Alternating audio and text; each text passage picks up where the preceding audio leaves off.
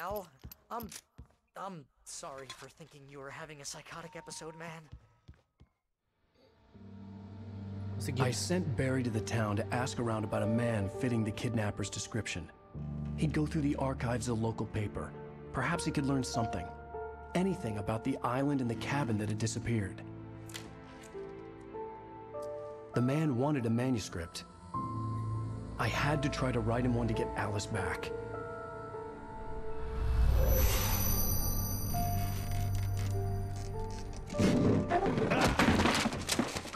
Me, the supernatural had always been nothing but a metaphor for the human psyche, a tool to use in writing fiction.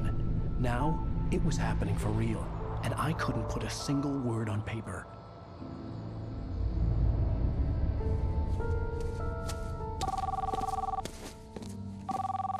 Barry Wheeler speaking. This is Rose. Rose? I found Mr. Wake's pages. Oh, you sweet, brilliant girl. Could you and Mr. Wake come get them? I live in the trailer park outside the town. We'll be there in less than an hour. I know. See you soon. Hum, Have a great day. muito estranho nessa Hope you come back soon. Welcome, to, the, old dear diner. Good girl.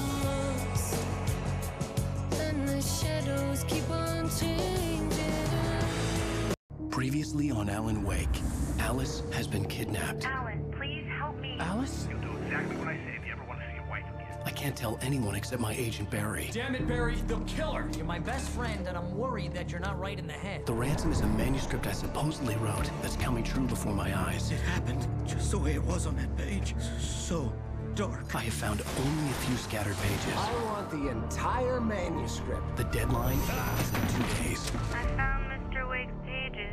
Good girl. How the hell did she get her hands on the manuscript anyway? I don't know. She's resourceful. I told you you were too hard on her. Listen, I found out all sorts of interesting stuff while I was digging around. Yeah. Mr. Wake, it's Sheriff Breaker. We have an FBI agent here, Agent Nightingale. FBI. Gay. He's anxious to see you. You'd better come to the station. Okay, I'll be right over, Sheriff. Let's make this quick, huh? Help you folks? Name's Randolph. I'm the manager. We're looking for Rose. Works as a waitress down at the diner. Rose, sure. Nice girl. Who wants to know? I'm Alan Wake. The writer, huh? I heard on the radio you were visiting. Well, I'll show you her trailer. That Rose, she's a nice girl. Always pays her rent on time. As I was saying, Al, I found all sorts of weird stuff from the local newspaper's archives. This place is crazy. Disappearances, mysterious deaths, urban legends come true, and get this most of this stuff takes place around Cauldron Lake. Cauldron Well, you ain't wrong, mister. The Indians thought the lake was a doorway to the underworld. I'm the God-fearing type myself. I, I don't hold with that sort of thing. Yeah, okay. Anyway, there was an island there owned by a guy called Thomas Zane.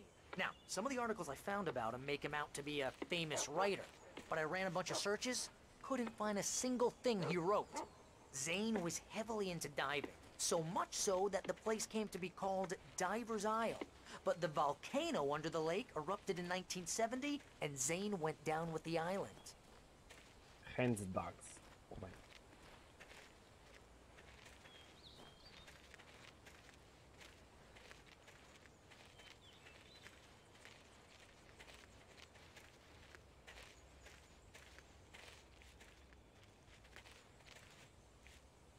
Ela podia ser no trailer mais próximo, né? Better.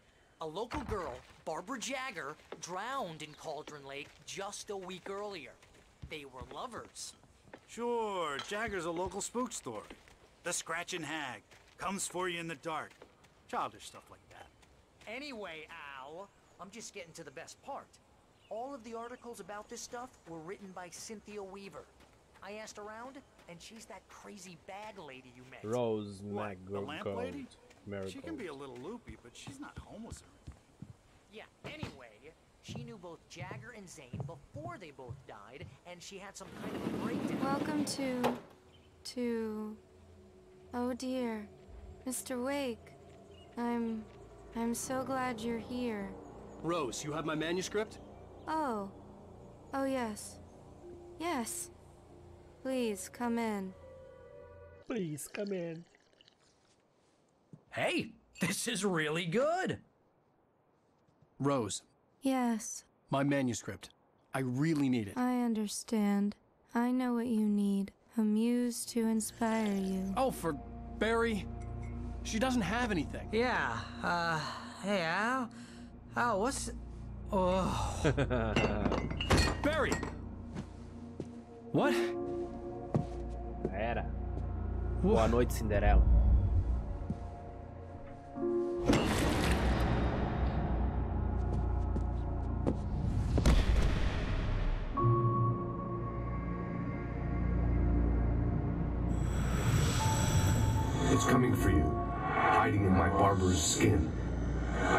To stop it. You must turn the lights on. I promised I'd come visit you and your lovely wife. You must finish what you started. I insist. You must turn the lights on. Turn the light on.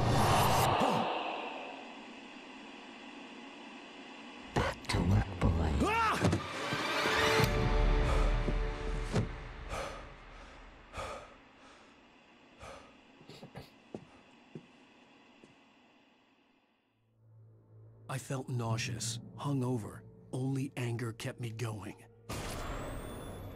I can't tell reality from dream anymore, but it seems I have an imaginary editor to help me. She's an old woman in a funeral dress. I call her Barbara Jagger. She's very strict. I- I'm writing faster and faster. My manuscript is being heavily revised. The edits are getting very aggressive, and each day there's less of me and more of her. I hate it, but I know she's right. She promises me I can save Alice this way. She knows more of this than I do. About the complex incantation I'm attempting. About this place. She's worked with another writer under similar circumstances, Thomas Zane. The genre of the story seems to be shifting. It's turning into a horror story. I'm getting close. Rose took a day from me. I had less than 12 hours left to meet the kidnapper. All I could do was get Barry into the car, work something out once I got on the road. Welcome to the Oh Deer Diner. What can I get you today? Coffee? I couldn't work up much hate for Rose. Something had used her to get to me and left its mark. First refill is free. Milk and sugar on the counter there. My like gun and flashlight were gone. I'd have to find a way to get Barry into the car as quickly as possible. There was no time to waste. De novo, perdi tudo, mas quando tá cheio de munição, tu perde as coisas, né?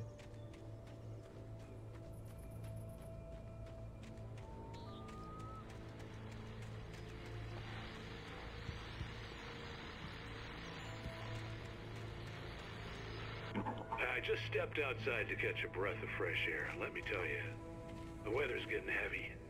Nights like this make me especially glad I'm here talking to you and not home in bed. Once, once the weather.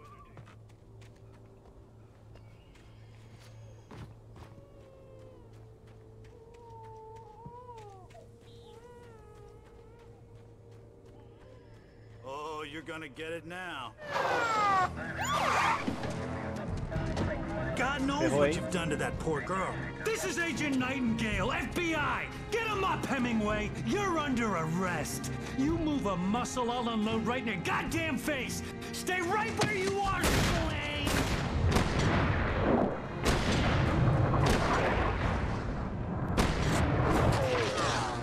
Credo.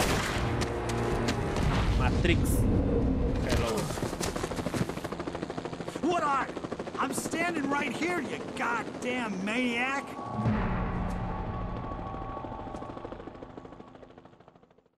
I hated to leave Barry behind, but there was no way I'd miss my appointment with the kidnapper.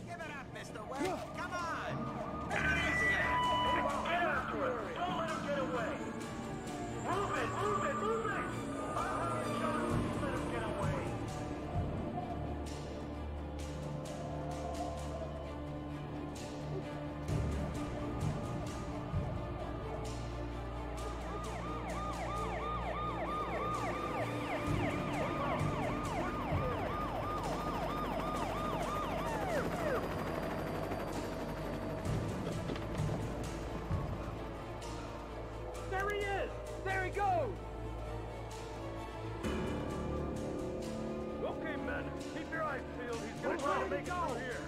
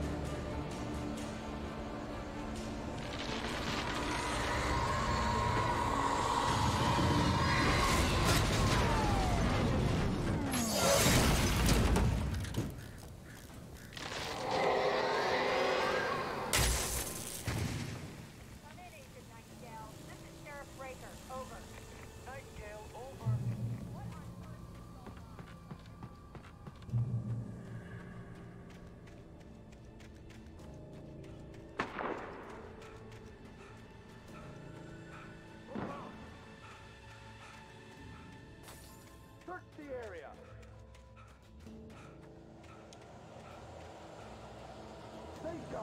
Desgraçado.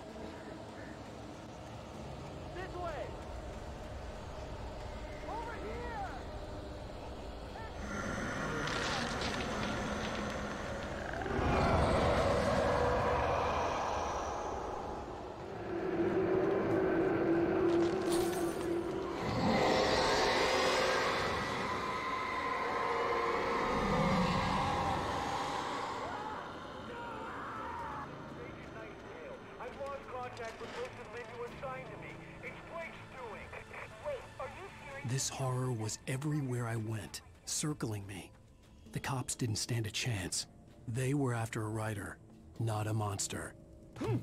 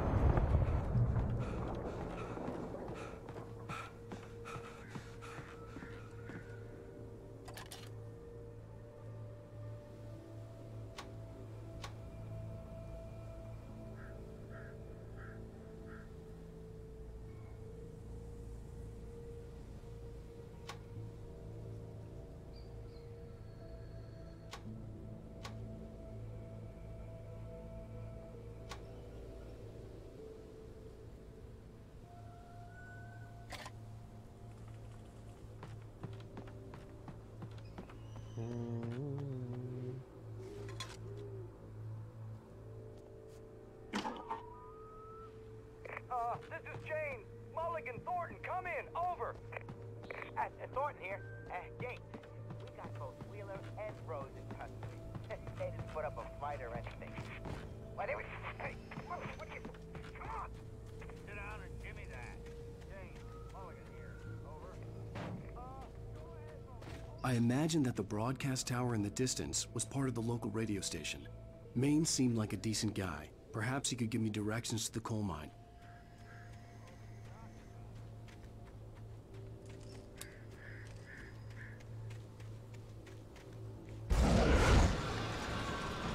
Oh. Unnatural shadows clung to the gate. The darkness that was after me was trying to stop me. I wouldn't get through without a light.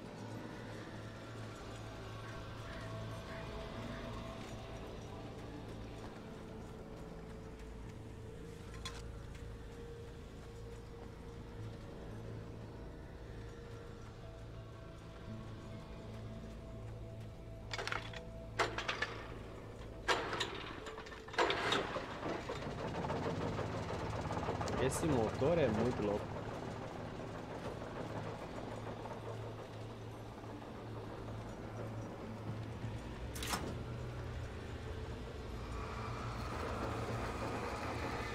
The old generator conked out. I'd have to see if I could fix it and try again.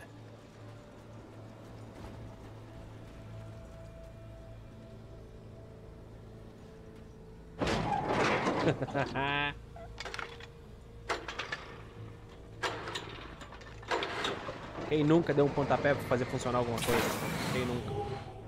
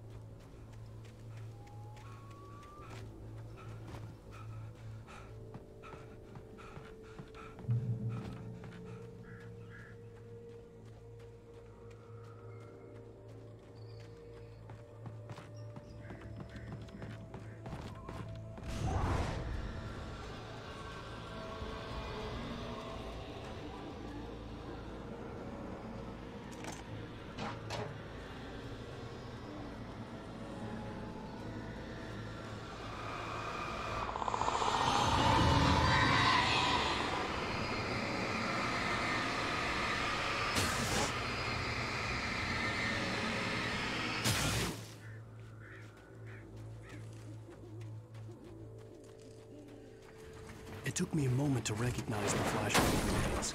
They were an ideal weapon for my situation.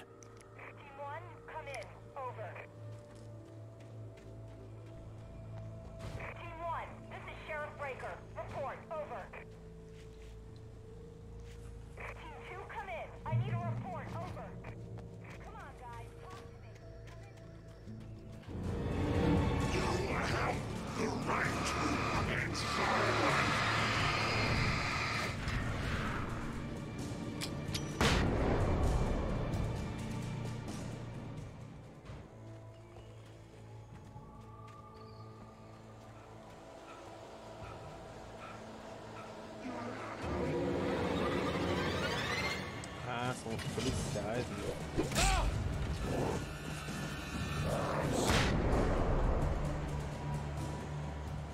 John.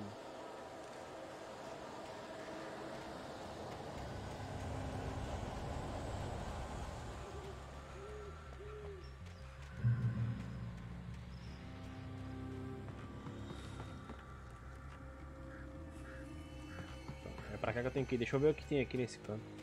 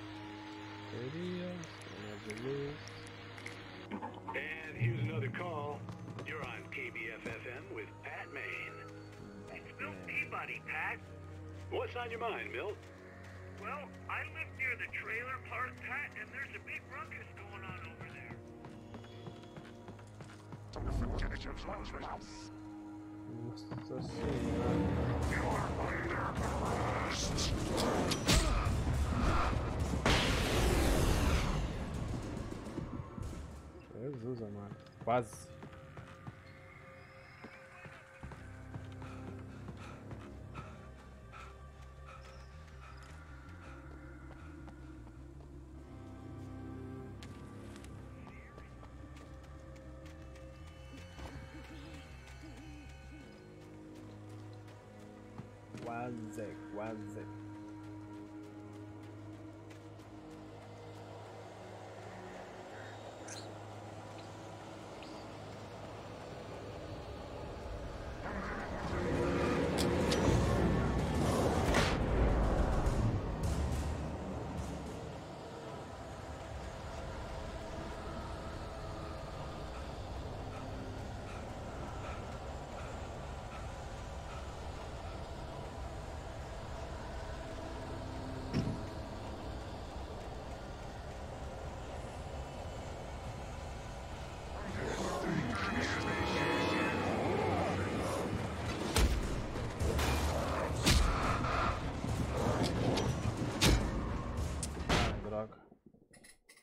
Fiquei olhando, achei que tinha lançado na primeira vez que apertei e não lançou. Here's another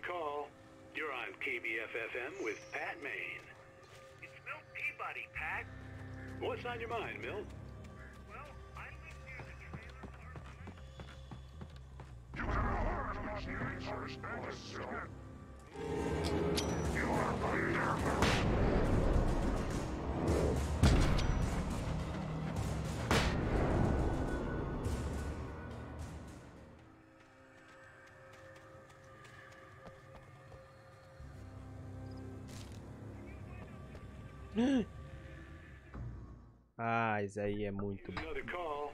É muito safado, KBFFM né? with Pat Maine. It's Milt Peabody, Pat. What's on your mind, Milt?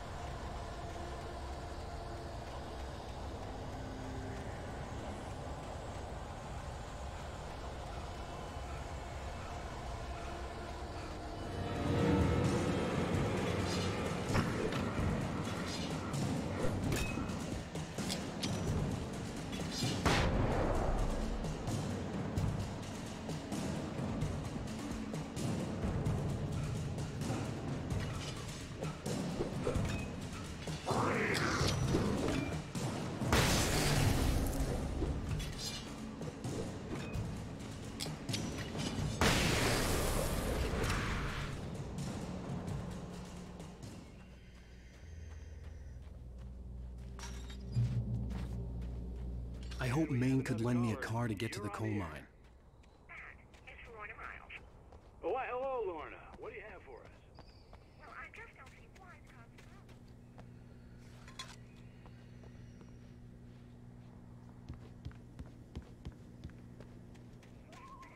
The sheriff should be helping us normal citizens instead of wasting resources on those people.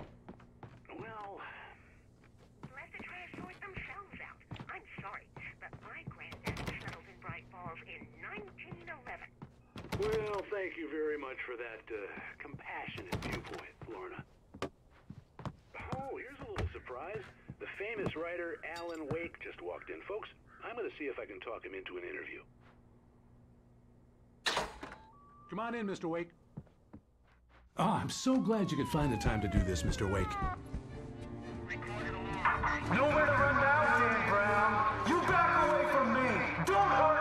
Whoa, whoa, whoa. Everyone calm down. Put the gun down. We're all friends here, right? Cool your jets, Nightingale. We got him.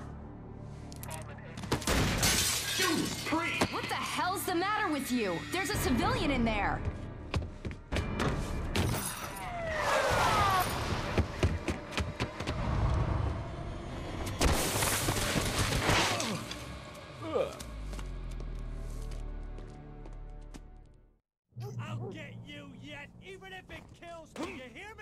Veio até aqui pra quê então? Pra nada? I had fallen off so many cliffs it was ridiculous. That's what you get for naming a book The Sudden Stop. It was probably good I hadn't had the chance to tell Maine where I was going. I'd have to lose the cops and find my own way to the mine.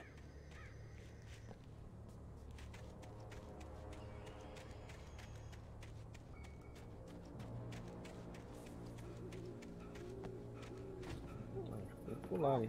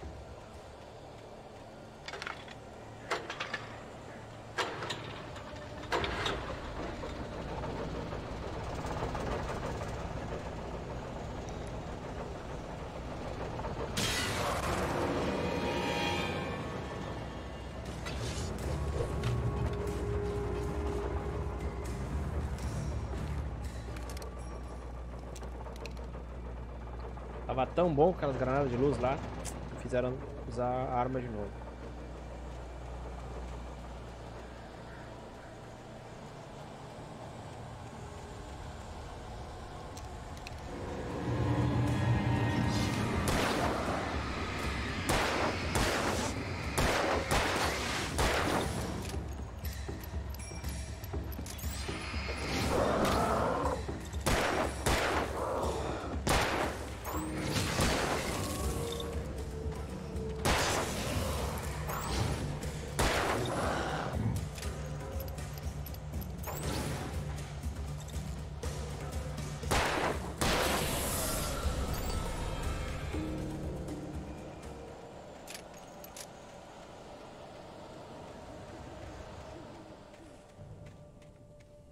There was no sensible reason for the power company work lights to be here.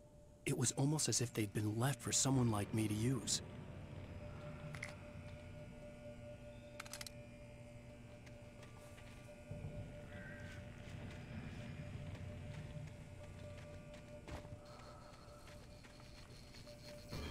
Quebrou.